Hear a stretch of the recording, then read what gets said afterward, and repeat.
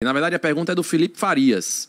Qual, Fábio, qual o plano de estruturação do Vitória? Muita gente fala que SAF só quer lucro. Faríamos algo parecido com Flamengo ou Fortaleza? Bom, o que é que eu penso? Não sou dono do Vitória. Uhum. Não pretendo ser e nem tenho pretensão. Estou dando minha contribuição. Vou passar e outros vão, vão continuar. Eu acho que o modelo do Fortaleza é muito inteligente. Eu tenho conversado, debatido muito. Mas sempre falei isso aqui do dia que eu assumi o Vitória até então, foram várias e várias propostas de SAF. É evidente, eu querendo bolacha quebrada. Sim. Na Série C ofereceram 200 milhões pelo Vitória, certo? É... E são diversas propostas. Eu nunca quis nem sentar para conversar. Porque eu sempre disse isso, a marca está desvalorizada. O Vitória da Série C não será o Vitória da Série A, certo? Então, o Vitória é um, uma instituição endividada? É. Mas se você pegar a dívida do Vitória perto de quem virou SAF, ela não é 30%.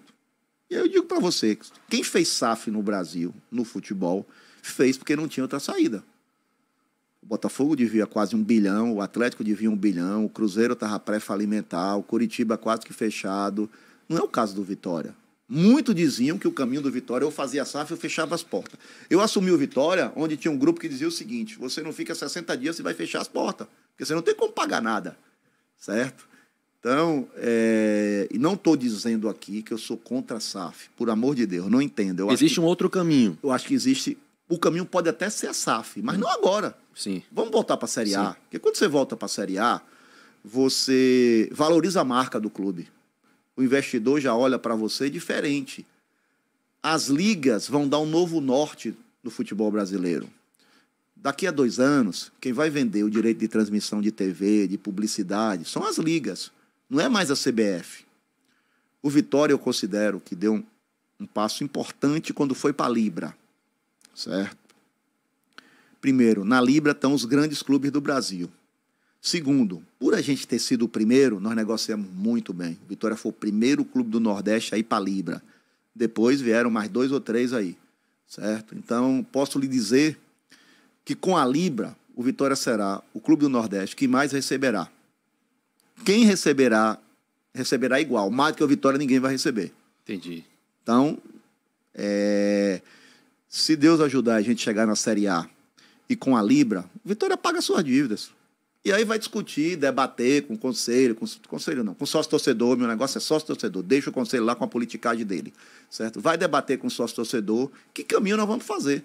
Mas isso não é agora, não é, não é essa agonia, calma. Qual é o nosso foco? Voltar para a Série A, certo? Eu lembro bem que quando eu assumi o clube, o clube devia só de imposto atrasado 117 milhões. O cara queria dar 200. Imagine aí, o que é que seria o Vitória? O que é que seria o Vitória, entendeu? Então, o 117 a gente negociou, fomos a Brasília numa guerra danada, conseguimos um desconto, caiu para 59, parcelamos e por aí vai. E aí são tantas e tantas histórias aqui que dá para fazer um livro de um bocado de, de exemplar, os meus dois anos no Vitória. E nós não morremos, o Vitória não acabou, a torcida não abandonou, tá? O Vitória não virou SAF, por isso não morreu. O Vitória continua sem dono, quem manda no Vitória é a torcida. E estamos vivos. Estavam na C, estamos na B, com fé em Deus vamos para A, sem precisar vender a alma. Ninguém precisa vender a alma. Você não precisa vender seu patrimônio. Você não precisa entregar o seu futebol a uma única pessoa, a uma única empresa. Então, contra isso eu sou contra. Eu deixo isso para todo mundo. Eu não sou contra investimento. Tanto não sou contra o investimento, que eu estou buscando investimento para fazer a nossa modernização do estádio. E não estou buscando de boca, já estou na terceira ou quarta reunião, conversando, discutindo. Meu inglês não é bom, tenho que levar um intérprete sempre, mas está andando, certo? Não estou aqui dizendo que eu sou contra capital privado, que eu sou contra investimento, mas SAF nos moldes que foi feito no Brasil, com quem fez, eu sou contra. Como é que você vende futebol do clube e você esquece a torcida, você esquece a cultura? Porque, bora lá, se o cara quiser mudar a sua camisa, ele muda. Se ele quiser mudar a cor, ele muda. Se o treinador for ruim, não tem pressão. Se o jogador. Por quê? Porque ele visa o lucro. As SAFs que foram feitas no Brasil, se você parar para analisar, vou dar um exemplo para não entrar em polêmica, RD Bragantino que não tem torcida. Se você pagar o elenco do RD Bragantino, são meninos novos, jovens, que despontam para o futebol agora, que serve ali de incubação para mostrar para o mundo e para tal, para o cara vender e ganhar dinheiro. O cara tá pensando na torcida, não, tá pensando em ganhar dinheiro. Esses clubes todos que fizeram SAF no Brasil, veja se alguém trouxe um grande jogador. Um jogador de nome. Só o Vasco trouxe Paê, né? Sim, porque tá no desespero. Não é? Mas analise os outros. E se alguém trouxe um Messi, se alguém trouxe um, sei lá, não. Não. Por quê? Porque o nego tá, não tá nem aí para o resultado esportivo, não tá nem aí para a colocação na tabela. Tanto que você pegar hoje é, o campeonato da Série A, tem lá três ou quatro que são SAF brigando para não cair.